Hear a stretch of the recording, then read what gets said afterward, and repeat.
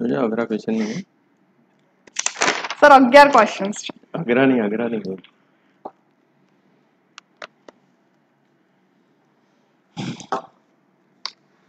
नमस्ते। मैं अपोलो अहमदाबाद से आप सबका स्वागत करती हूँ इस एफ़ बी लाइव सेशन में। इस एफ़ बी लाइव सेशन में आज हमारे साथ जुड़े हुए हैं doctor Ramesh Goyal. Doctor Ramesh Goyal M B B S M D endocrinologist from AIIMS New Delhi से जिन्होंने किया हुआ है। सर हमारे साथ अहमदाबाद अपोलो से जुड़े हुए हैं more than a two decade sir और सर डायबिटोलॉजिस्ट एंड एंडोक्रोनोलॉजिस्ट है हमारे अपोलो अहमदाबाद में। सर मैं आपका बहुत बहुत स्वागत करती हूँ आज। थैंक यू हमारे बहुत सारे दर्शक हैं जो जानना चाहते हैं कि सर बहुत सारी कोविड है कोविड नहीं है पर बहुत सारी जो डायबिटीज़ है थायराइड है। इन सबको लेके आजकल डायबिटीज़ तो इतना ज़्यादा फैल चुका है कि छोटे बच्चों में भी वो डायबिटीज़ होता है। थायराइड जो है, वो बहुत ही आम हो गया है। जैसे कहते कि हर दूसरे बच्चे को थायराइड होता है, हर बड़े लोगों में हर दूसरी फीमेल को भी थायराइड है। तो सर, आज हमारे पास आज नया टॉपिक लेके आए हैं हशीदो हशीमोटोस डिज़ीज़ सर, आज हम इस पे बात करने वाले और हम, हमारे कुछ दर्शक मित्रों के प्रश्न भी लेंगे उसमें हम। तो सर, ये पहले तो हम ये जानना चाहते हैं, सर, ये थायराइड होता क्या है बेसिकली ये जो थायराइड ग्लैंड बोलते हैं उसको, ये क्या होता है? ये क्यों होता है? तो सबसे पहले हमारे दर्शक मित्रों का बहुत बहुत स्वागत है। और आज आने वाली 45 से 60 मिनट्स में हम थायराइड के बारे में डिस्कशन करेंगे। और मैं आशा करता हूँ कि ये डिस्कशन से दर्शकों को काफ़ी फ़ायदा मिलेगा। और जो भी आपके प्रश्न हैं वो ये वक्ते हुए के एंड में आप हमें पूछ सकते हैं हम उसका आपको आंसर देंगे। तो बिजल जी आपने पूछा कि थायराइड क्या होता है? तो थायराइड एक अंतस्राव ग्रंथि है। अब हमारे बॉडी में बहुत सारी अंतस्राव ग्रंथि होती है जो अ, अंतस्राव यानी हॉर्मोन्स का उस ब्लड में स्त्राव करते हैं। और ये जो हॉर्मोन्स होते हैं वो बॉडी के फ़ंक्शंस को बॉडी की विविध क्रियाओं को वो नियंत्रित करते हैं। तो उसी तरह से थायराइड ग्रंथि में से T3 और T4 नाम के हॉर्मोन्स यानी कि ये, अंतस्राव का ब्लड में स्त्राव होता है, खून में स्त्राव होता है, और ये T3 T4 हार्मोन है, वो शरीर के सारे कोशों को नियंत्रित करते हैं। तो शरीर में ऐसा कोई कोश नहीं है जिसपे थायराइड हार्मोन अपना कार्य नहीं करता हो। अब थायराइड हार्मोन शरीर के कोशों को किस तरह से नियंत्रित करते हैं तो थायराइड हार्मोन का जो रोल होता है, वो शरीर के सारे कोशों में ऊर्जा पैदा करना होता है और उसमें उत्तेजना पैदा करना होता है। यानी मैं आपको सिंपल लैंग्वेज में समझाऊं तो थायराइड हार्मोन वो बॉडी में पेट्रोल या डीजल का काम करता है।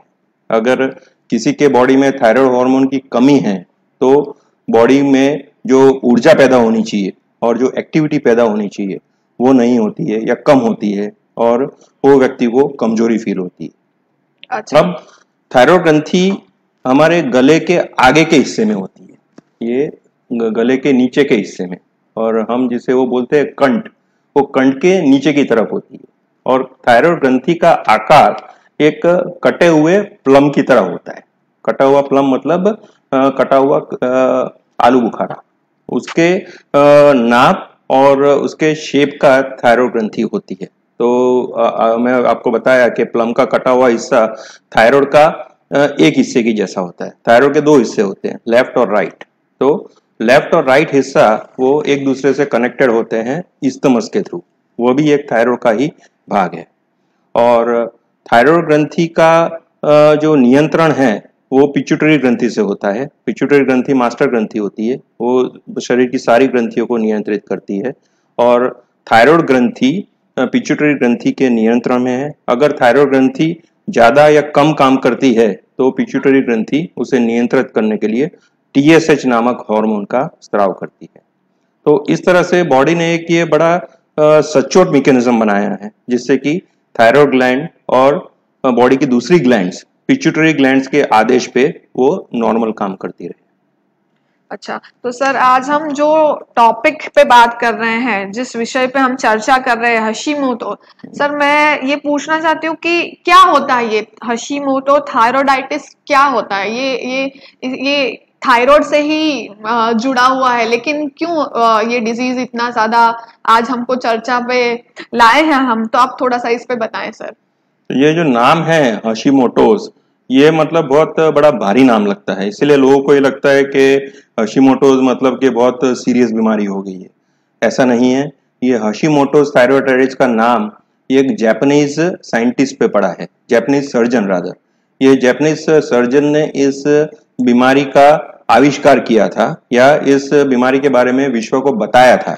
इसीलिए ये बीमारी उस जापानीज सर्जन के नाम पर ये जानी जाती है। और 1912 में हशीमोटोज ने इस बीमारी को नाम दिया था हशीमोटोज थायरोडाइटिस अब इसके बारे में मैं आपको थोड़ा ब्रीफ में बताऊँ तो हमारे बॉडी में कुछ ऐसे ऑटोमिन डिज़ीज़ होते हैं जो बॉडी में आ, कुछ ऐसे केमिकल्स पैदा करते हैं जो आमतौर पर वायरस और बैक्टीरिया को अटैक करने उसका इंटेंशन होता है। But because of some abnormality वह मिसफायर करके बॉडी के जो स्वस्थ टिश्यूज होते हैं बॉडी के जो स्वस्थ ऑर्गन्स होते हैं, उस पर अटैक करते हैं।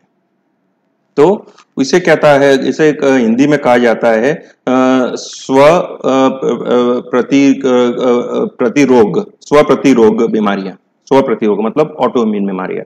और ये जो हमारा जो प्रतिरोग तंत्र होता है, यानी इम्यून सिस्टम होता है, वह मिस फायर करके बॉडी के नॉर्मल ऑर्गन्स को अटैक करने लगता है। अब ये हशीमोटोस थायरोडाइटिस में भी बॉडी में कुछ ऐसे एंटीबॉडी बनते हैं मतलब ऐसे कुछ रसायन बनते हैं, जो थायराइड ग्रंथि को जाके नुकसान पहुंचाते हैं। और इसे हम मतलब मेडिकल लैंग्वेज में एंटी थायराइड पेरोक्सीडेज एंटीबॉडी कहते हैं। अब दर्शकों का एक दूसरा क्वेश्चन होगा कि अब ये एंटीबॉडी क्यों बनते हैं? मतलब ये बनने का कारण क्या होता है? तो इसका मतलब मैं आंसर ये दूँगा कि अभी तक मतलब मेडिकल साइंस को एग्जैक्टली ये मालूम नहीं पड़ा कि कुछ लोगों में ये एंटीबॉडी क्यों पैदा होते हैं और कुछ लोगों में क्यों नहीं बनते हैं। और इसके साइंटिस्ट ने कई कारण बताए हैं और उसमें से मतलब कुछ कारण हैं कि कई वायरल और बैक्टीरियल इन्फेक्शन से बॉडी में ऐसे केमिकल्स पैदा होते हैं या ऐसे रसायन पैदा होते हैं या ऐसी एंटीबॉडीज पैदा होती है जो जाके बॉडी के नॉर्मल ऑर्गन्स को टारगेट करती है और उसे नुकसान पहुंचाती है। तो इसी तरह से हशीमोटोज थायरोडाइटिस में भी एंटी थायरॉयड पेरोक्सीडेज एंटीबॉडी जो पैदा होती है, वो थायराइड हार्मोन को जाके सॉरी थायराइड ग्रंथि को जाके उसको नुकसान पहुंचाती है। उसे हम मेडिकल लैंग्वेज में इन्फ्लामेशन बोलते हैं इन्फ्लामेशन ऑफ़ थायराइड ग्लैंड और मैं सिंपल लैंग्वेज में समझाऊं तो इन्फ्लामेशन मतलब वो थायराइड ग्लैंड पे सूजन पैदा करती है। और ये थायराइड ग्लैंड की सूजन धीरे धीरे कई महीनों या बरसों बाद वो थायराइड ग्रंथि को वो कमज़ोर बना देती है। तो ये है अशीमोटोज थायरोडाइटिस का जो पैथोलॉजी है, वो है autoimmune destruction of thyroid gland अब एंटीबॉडीज बनने का दूसरा कारण हो सकता है अनुवंशिक कारण, कि अगर किसी के फैमिली में थायराइड ग्रंथि की प्रॉब्लम है तो ऐसी व्यक्ति में इस तरह के एंटीबॉडीज बनने की संभावना ज़्यादा है और थायराइड ग्रंथि की लॉन्ग टर्म में ये सूजन की वजह से कमज़ोरी होने की जो पॉसिबिलिटी है वो बढ़ जाती है अच्छा। अब कोई एक कारण को हम पिन पॉइंट नहीं कर सकते हैं कि मतलब बैक्टीरियल इन्फेक्शन या वायरल इन्फेक्शन या अनुवांशिक कारण बट ये सारे कारण के जो कॉम्बिनेशंस होते हैं जो मिश्रण होते हैं मतलब अनुवांशिक इन्फेक्शन फिर ये स्त्रियों में ज़्यादा होता है अशीमोटोस थायरोडाइटिस और कोई भी ऑटोम्यून डिज़ीज़ ये स्त्रियों में ज़्यादा कॉमन होता है। और हम अगर सौ हशीमोटोस थायरोडाइटिस के पेशेंट देखते हैं तो करीब पंद्रह से बीस परसेंट ही पुरुषों में होते हैं, बाकी के सारे हशीमोटोस थायरोडाइटिस के केसेस स्त्रियों में ही होते हैं। दूसरी जो रीजन होता है, वो है ये उम्र। अब ये हशीमोटोस थायरोडाइटिस होने का जो मेन जो पीक होता है, वो 45 से 65 इयर्स के बीच की उम्र का होता है। तो अगर आपका मतलब आप स्त्री हैं, आपकी उम्र 45 से 65 के बीच में है, आपके फैमिली में थायराइड का प्रॉब्लम है, या आपको और कोई ऑटोमिन डिज़ीज़ है, जैसे कि गठियावा है टाइप वन डायबिटीज़ है तो ये सब बीमारियों के होते हुए भी हशीमोटो थायरोडाइटिस होने के चांसेस बढ़ जाते हैं। अच्छा तो सर मैं ये जानना चाहती हूँ कि जैसे आपने काफ़ी सारी जानकारियाँ हमें दी पर मेरा मैं ये जानना चाहती हूँ कि कोई स्पेसिफिक चीज़ जिसकी वजह से ये होता हो कोई ऐसी कोई चीज़ें हैं कि जैसे कभी कभी हम बोलते हैं लाइफस्टाइल की वजह से होता है कोई ऐसी क्या होता है ये क्यों होता है मतलब? ये एक बड़ा ही कॉमन क्वेश्चन है जो हर एक पेशेंट हमारे से आके पूछता है। कि डॉक्टर साहब, हमारे से तो ऐसी कोई गलती नहीं होगी जिससे कि हमें ये बीमारी हो गई है। तो मेरा उसमें आंसर है कि नहीं। हशीमोटोस थायरोडाइटिस लाइफस्टाइल डिज़ीज़ नहीं है। अगर आपको हशीमोटोस थायरोडाइटिस हुआ है तो इसमें आपकी कोई गलती नहीं है। ये मतलब आपके शरीर की जेनेटिक बनावट और आपके शरीर की ऑटो इम्यूनिटी वो ही तय करती है कि आपको हशीमोटोस थायरोडाइटिस होगा या नहीं होगा।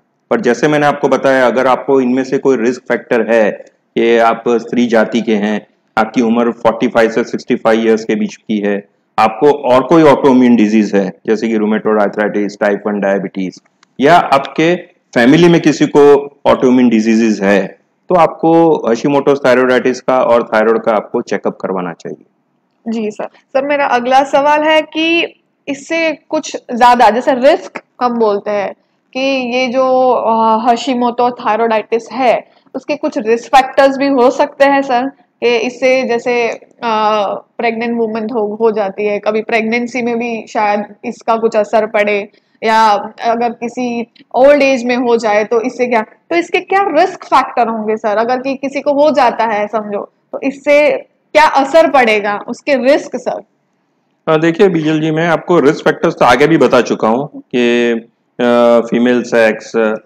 मिडल एज फिर फैमिली हिस्ट्री ये सारे मतलब इसे रिस्क फैक्टर्स ही गिरना चाहिए कि अच्छा। इन लोगों को हशीमोटोस थायराइडाइटिस होने के चांसेस ज़्यादा है। बट मैं आपका क्वेश्चन थोड़ा आगे लेके जाता हूँ कि आपको कब सस्पेक्ट करना चाहिए कि आपको हशीमोटोस थायराइडाइटिस हो सकता है?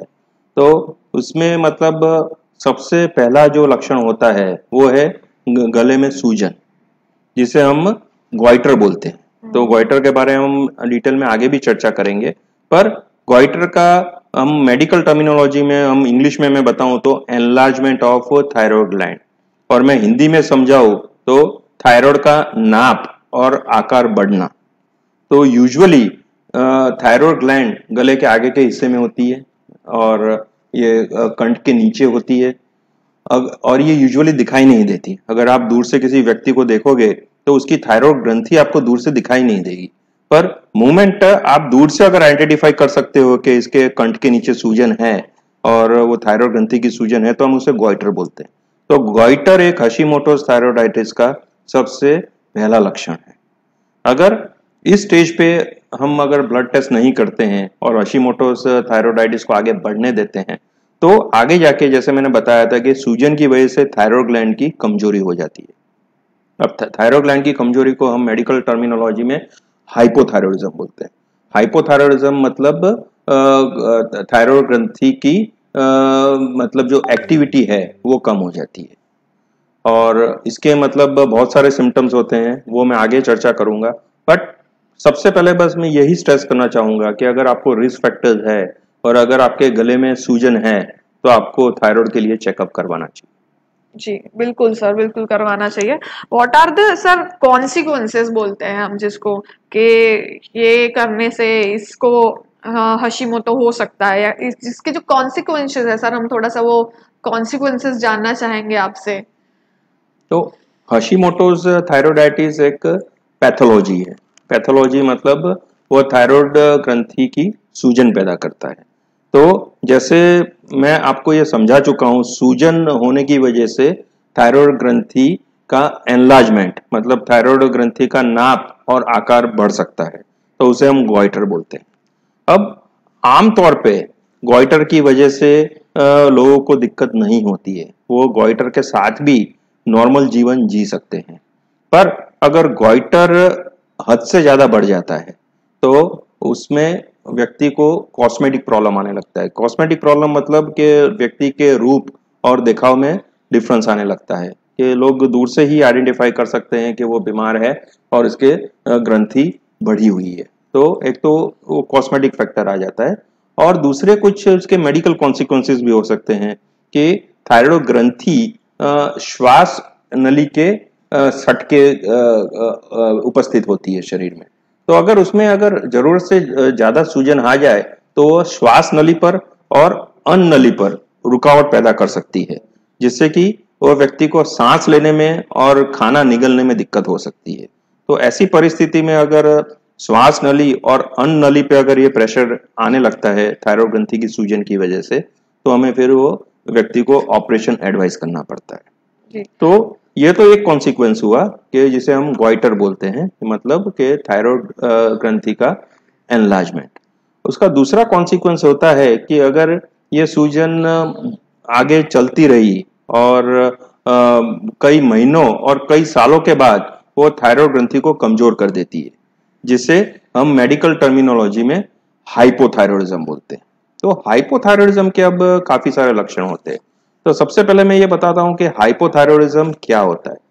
तो हाइपोथायरॉयडिज्म में जो थायराइड हार्मोन का स्त्राव होता है T3 और T4 हार्मोन उसका लेवल बॉडी में कम होने लगता है। और जैसे मेरे वक्तव्य के मैं शुरुआत में बता चुका हूँ कि ये T3 और T4 हार्मोन शरीर में ऊर्जा और शरीर में एनर्जी पैदा करने के लिए अत्यंत आवश्यक है। अब T3 और T4 की कमी की वजह से शरीर में कमज़ोरी आने लगती है।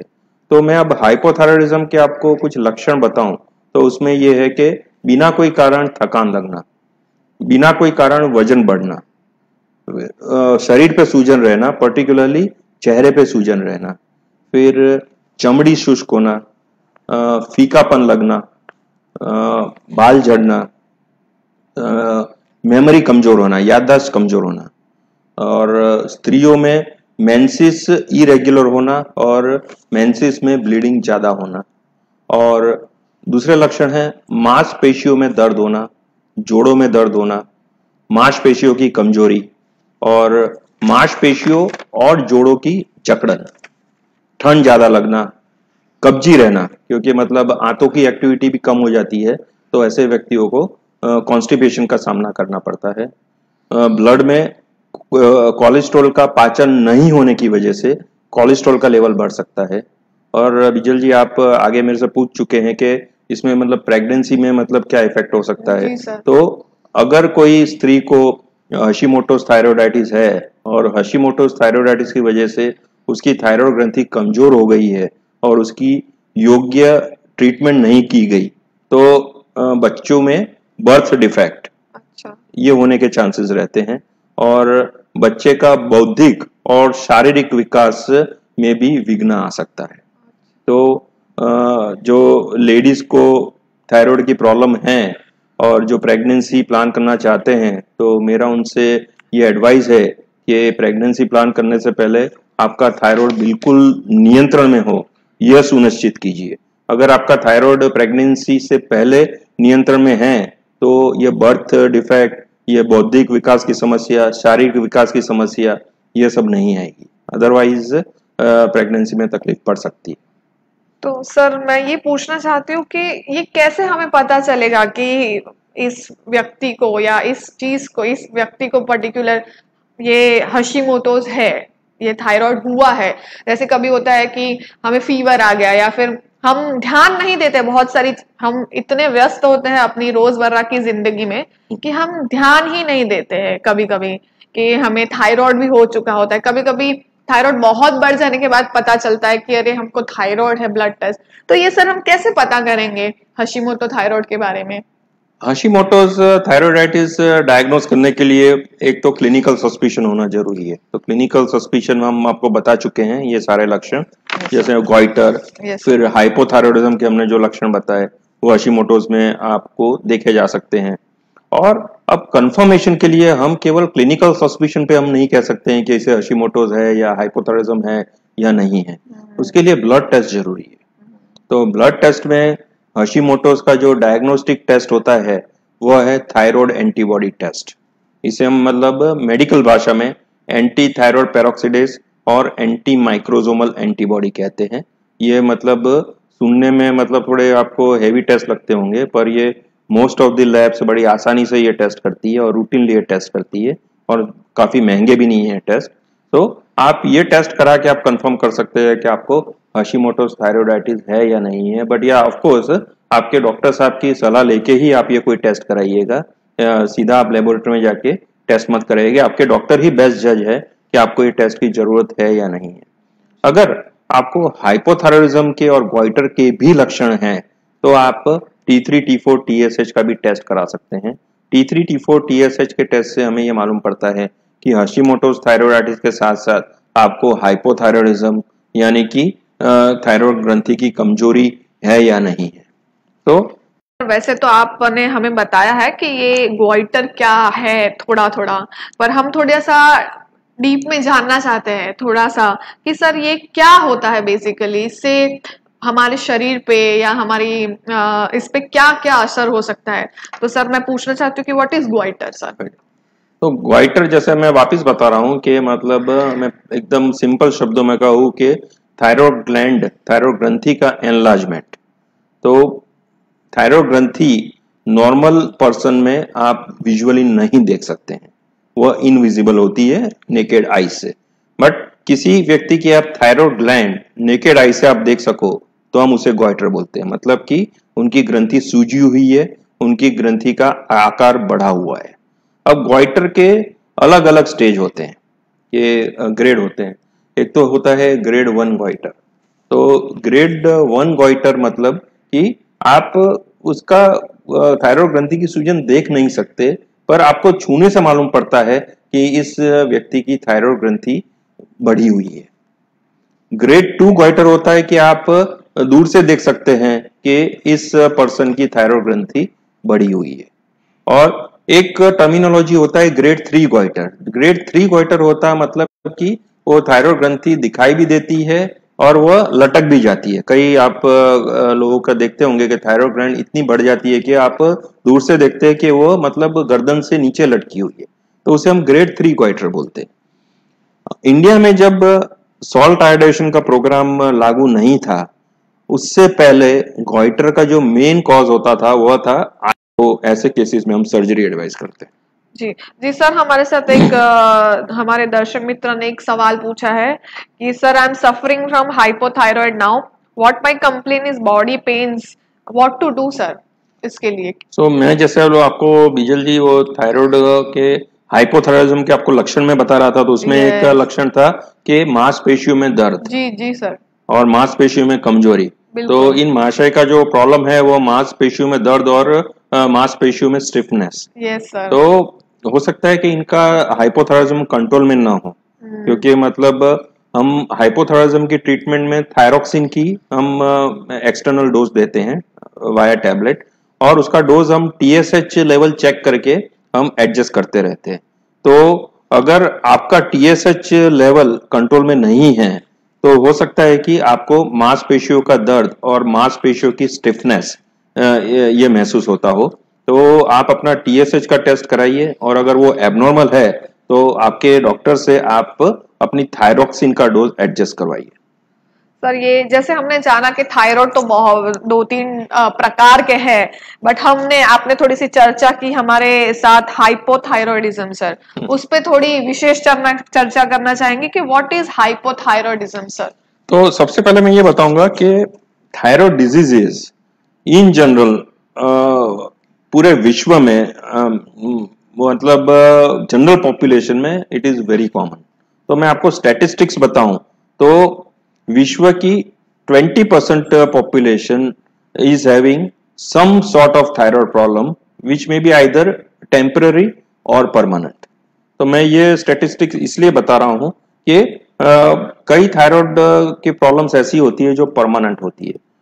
मोस्ट ऑफ़ द पेशेंट्स जो हमारे पास आते हैं, वो इस आशा से आते हैं कि हमें ऐसी कोई मेडिसिन मिल जाए जिससे कि हमें थायराइड की बीमारी से छुटकारा मिल जाए। बट ऐसा हमेशा संभव नहीं होता है। कई बीमारियाँ होती है थायराइड की जो टेम्पररी होती है। बट मेजोरिटी ऑफ़ जो थायराइड की बीमारियाँ होती है, उसमें लॉन्ग टर्म या लाइफ लॉन्ग थायराइड मेडिसिन की ज़रूरत होती है। तो उसमें से ऐसी एक जो कंडीशन है, वो हाइपोथायरॉयडिज्म है। अब हाइपोथायरॉयडिज्म का जो मेन कॉज है, जो थायराइड ग्रंथि की जो वीकनेस है, वो होने का मेन रीजन है हशीमोटोस थायरोडाइटिस तो इंडिया में भी आज की तारीख में 90 percent of cases of hypothyroidism are due to Hashimoto's thyroiditis और हशीमोटोस थायरोडाइटिस की वजह से जो हाइपोथायरॉयडिज्म होता है, वह लाइफ लॉन्ग होता है in 80 percent cases only in 20 percent cases you can have a reversible form of hypothyroidism but ये एक घबराने वाली बात इसीलिए नहीं है क्योंकि हम इसी ट्रीटमेंट के लिए जो थायराइड हार्मोन रिप्लेसमेंट देते हैं, वह थायराइड हार्मोन रिप्लेसमेंट एक नेचुरल थायराइड हार्मोन है, जो आम व्यक्ति के शरीर में नेचुरली बनता है बट हाइपोथायरॉयडिज्म के पेशेंट्स में वह शरीर में कम बनने की वजह से वही चीज़ हमें, उसे बाहर से देनी पड़ती है। तो अगर उसे योग्य मात्रा में दिया जाए तो वो साइड इफ़ेक्ट पैदा नहीं करता। अब उसकी योग्य मात्रा क्या है? योग्य मात्रा हम टीएसएच के लेवल पे हम डिसाइड करते हैं कि उस व्यक्ति के लिए थायराइड हार्मोन की योग्य मात्रा क्या है। और हम यूजुअली टीएसएच का टेस्ट हर चार से छह महीने पे करा के इसका हम डोज एडजस्ट करते हैं। जी बिल्कुल सर सर ये आ, बहुत कुछ आपने बताया ये हाइपोथायरॉयडिज्म के बारे में, और आप जैसे आगे भी बता चुके हैं। सर, कोई और लक्षण इस हाइपोथायरॉयडिज्म के?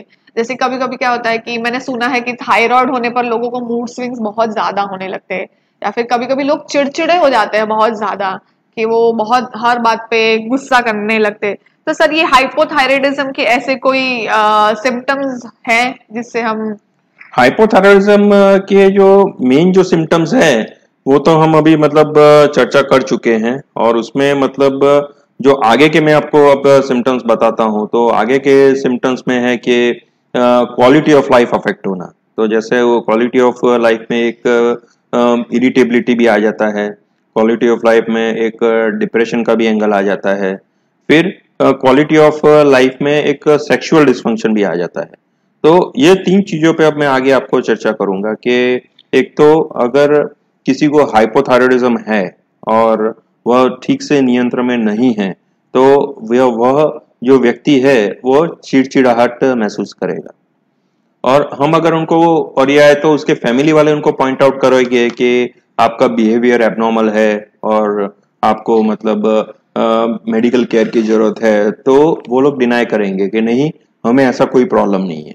बट वास्तव में अगर उनका थायराइड चेक करके, उनका थायराइड को हम ठीक से अगर करेक्ट करते हैं तो वो व्यक्ति को खुद को मालूम पड़ेगा कि पहले उनका जो कंडीशन थी, वह एबनॉर्मल थी और अब ठीक से थायराइड की दवाई लेने के बाद अब उनकी क्वालिटी ऑफ़ लाइफ बहुत बेहतर है। तो यह तो बात हुई चिड़चिड़ाहट की।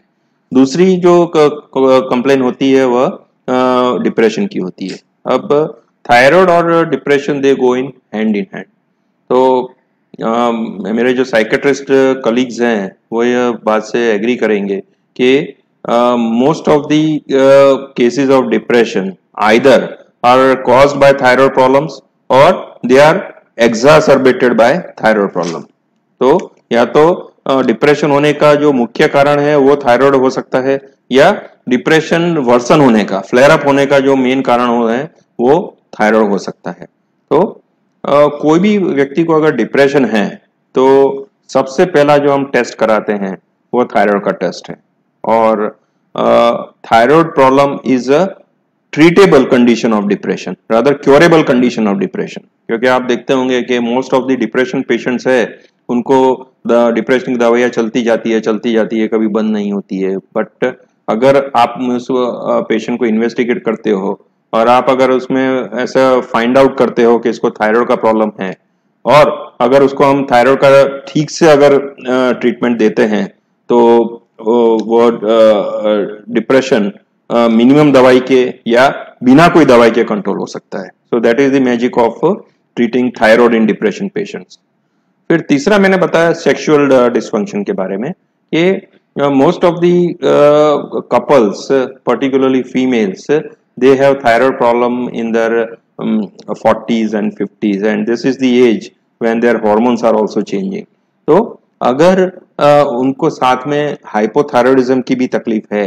या अशीमोटो थायराइड की तकलीफ है तो they will have less sexual desire and one of the correctable cause without giving uh, any female hormones in such ladies is you uh, properly manage the thyroid problem and the sexual desire and uh, the sexual dysfunction will uh, automatically improve without any female hormone medicine.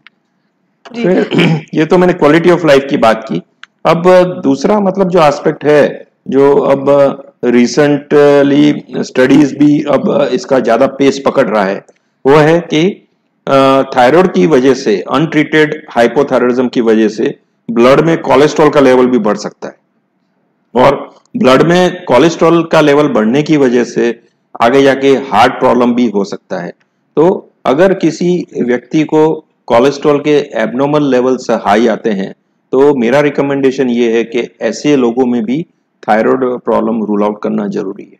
जी जी, बिल्कुल sir. बहुत बहुत ये जो जानकारी आप दे रहे हैं, उसमें एक सवाल ये है कि सर, ये जो थायराइड है हाइपोथायरॉयडिज्म है ग्वाइटर है। तो सर ये जो हाइपोथायरॉयडिज्म है उसकी कोई आई I मीन mean, मैं ये पूछना चाहती हूँ कि क्या परमानेंट कोई ट्रीटमेंट है या फिर आप इससे सिर्फ़ दवाई से इसकी क्या ट्रीटमेंट हो सकती है सर? मैं परमानेंट ट्रीटमेंट बता चुका हूँ थायराइड हार्मोन रिप्लेसमेंट ही इसकी permanent it is the only and the permanent treatment I will say जी जी बिल्कुल सो और मैं ये भी बता चुका हूँ दर्शकों को कि इस अगर ये ट्रीटमेंट अप्रोप्रिएटली ली जाए अप्रोप्रिएटली मतलब टीएसएच लेवल्स मॉनिटर करके डोज एडजस्ट करके अप्रोप्रिएट ली जाए तो इसका कोई साइड इफ़ेक्ट नहीं है।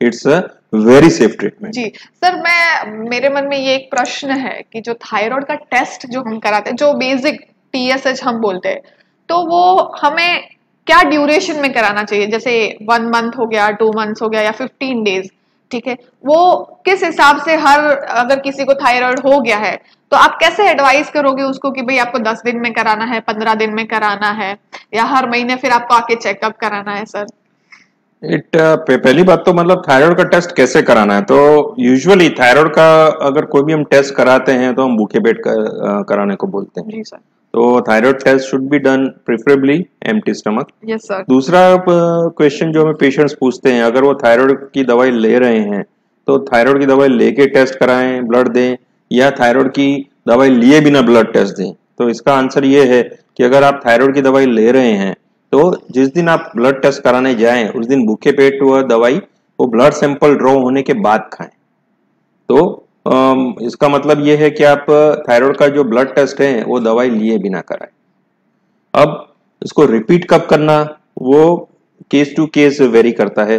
अगर आपका थायराइड स्टेबल है और उसमें बहुत ज़्यादा फ्लक्चुएशंस नहीं आ रहे हैं तो हम कई केसेस में हर छह महीने से और या हर एक साल से भी हम वो थायराइड का टेस्ट रिपीट करते हैं। बट अगर आप प्रेग्नेंट हैं और अगर आप थायराइड की दवाई ले रहे हैं तो ऐसे केसेस में हम एवरी मंथ भी टीएसएच का टेस्ट सजेस्ट करते हैं। तो इसका कोई फिक्स रूल नहीं है but the frequency of thyroid test depends और varies from case to case and आपके डॉक्टर बेस्ट जज है कि आपके लिए थायराइड टेस्टिंग की फ्रीक्वेंसी कितनी होनी चाहिए। होनी चाहिए। जी जी बिल्कुल बिल्कुल सर आपने बिल्कुल सही कहा। है सर मैं एक ये भी चर्चा के हम हम कभी कभी क्या करते हैं कि मैंने कभी क्रोसिन खा लिया तो इसके साथ ये भी मेडिसिन खा ली, वो भी मेडिसिन खा ली। हम जनरली आम पब्लिक की तरह हम खा लेते हैं। पर मैं ये पूछना चाहती हूँ कि जो थायराइड की दवाई खाते हैं तो क्या उसके साथ कोई मल्टीविटामिन या कोई विटामिन की दवा या कुछ अवॉइड करना चाहिए? कुछ, जो हमें नहीं लेना चाहिए, जिससे शायद कॉन्ट्राडिक्शन हो सकते या फिर किसी को प्रॉब्लम हो सके। तो सर, ये कौन सी, क्या दवाई है जो हम अवॉइड करें, उसके साथ लेना? देखिए पहली बात तो ये है कि थायराइड मेडिसिन के साथ आप दिन में दूसरी कोई भी दवाई ले सकते हैं। जी सर। तो ऐसी कोई दवाई नहीं है जो थायराइड का पेशेंट नहीं ले सकता है। पर इसके साथ में मैं ये कहना चाहूँगा कि कई दवाई ऐसी होती है जो थायराइड की दवाई के साथ चार घंटे के अंदर हमें नहीं लेनी चाहिए। तो ऐसी कुछ दवाइयों में है एसिडिटी की दवाइयाँ वो मतलब आपको एटलीस्ट चार घंटे का गैप रखना है थायराइड की दवाई के साथ एटलीस्ट आप ज़्यादा भी रख सकते हैं पर मिनिमम चार घंटे का गैप रखना है। और दूसरी जो दवाइयाँ है वो खून बढ़ाने वाली आयन टैबलेट्स हैं फिर कैल्शियम टैबलेट्स है फिर जिंक है मैग्नीशियम है मतलब जो भी मल्टीविटामिन में जो ट्रेस एलिमेंट्स आते हैं और आयन आता है उस टाइप की दवाई है उस उसमें और थायराइड की दवा में एटलीस्ट चार घंटे का अंतर होना चाहिए। जी जी। जी बिल्कुल बिल्कुल सर। आ, सर ये हम्म, बहुत बहुत आ, अच्छा हमारा जो सेशन रहा है ये थायराइड को लेके आपने जो बहुत सारे प्रश्न के उत्तर दिए शायद आज बहुत सारे लोगों के मन में से जो थायराइड के लेके डर होता है माँ बाप को बहुत डर होता है कि अपने बच्चों को थायराइड हो जाएगा मेरे बच्ची को थायराइड हो जाएगा फिर वो शादी में भी बोलते अरे मेरी बच्ची को शादी करानी है थायराइड है उसको। ये सब क्वेश्चन आपने जो आज हमारे प्रश्न के उत्तर दिए sir we are very very grateful and thankful to you sir thank you so much for the wonderful session sir with us जी, नमस्ते। आप डॉक्टर रमेश गोयल से मिलने के लिए अपोलो हॉस्पिटल अहमदाबाद अपॉइंटमेंट के लिए नंबर डायल कर सकते हैं seven six nine double eight, one five double zero three. हमारी ऐप है, आप उस पे से भी हम, डॉक्टर रमेश गोयल से अपॉइंटमेंट ले सकते हैं। आस्क अपोलो ऐप है, अपोलो टू फोर सेवन है, उस पे भी आप जाके डॉक्टर रमेश गोयल की अपॉइंटमेंट ले सकते हैं उनसे मिलने के लिए। धन्यवाद। Thank you everybody for joining Facebook